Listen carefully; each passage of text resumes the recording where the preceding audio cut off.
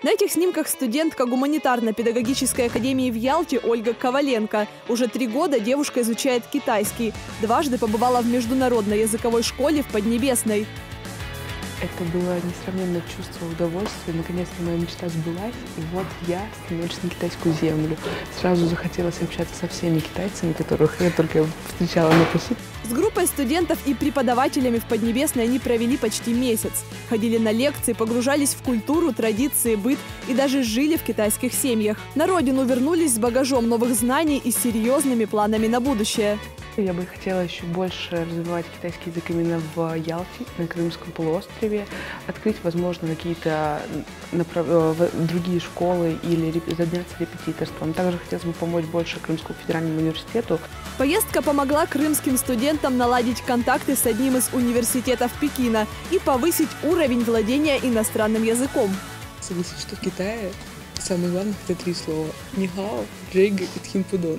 Привет, это и не знаю. Да, можно еще добавить «ты» и говорить везде «верно, верно, верно». Да-да-да. Просто кивать и улыбаться. Но если только кивать и улыбаться, покорить иностранных коллег получится едва ли. Неудивительно, что для этих девушек китайский стал почти родным. Меня мотивирует э, популяризация китайского языка в России. Э, достаточно новое пилотное направление, и очень интересно, в принципе, изучать китайский язык, разбираться в каких-то сложностях. В этом году на стажировке в языковой школе в Китае побывало 9 студентов гуманитарно-педагогической академии и двое преподавателей. Программа министерская, программа поддержки развивающихся университетов. Между нашим университетом и данной организацией должен быть заключен договор о сотрудничестве. В рамках договора о сотрудничестве студенты и также преподаватели могут осуществить э, академическую мобильность то есть поехать на курсы, стажировки, э, летние, зимние школы.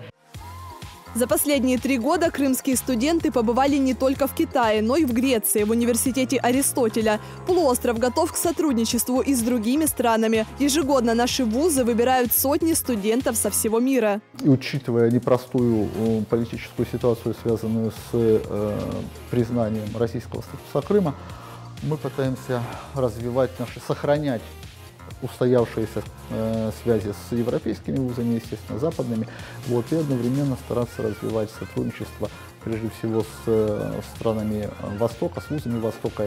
Сейчас группа преподавателей и ученых Крымского федерального университета готовится к командировке в Иран. В планах наладить контакты с иностранными вузами, чтобы в дальнейшем поехать в языковую школу, смогли и студенты, изучающие персидский. Попасть на студенческую стажировку в другую страну могут даже первокурсники. Для этого нужно хорошо учиться, знать иностранные языки и, что немаловажно, быть стрессоустойчивым. Конкурсный отбор, собеседование, сбор документов. Только подготовка к такой поездке занимает не меньше трех месяцев. Студенты могут самостоятельно связаться с принимающей стороной, либо выбрать образовательного партнера из тех, с кем сотрудничает ВУЗ. Главное – проявить инициативу. С оформлением документов и получением визы поможет Управление международной деятельности университета. Татьяна Балыкина, Алим Велиев. Утро нового дня.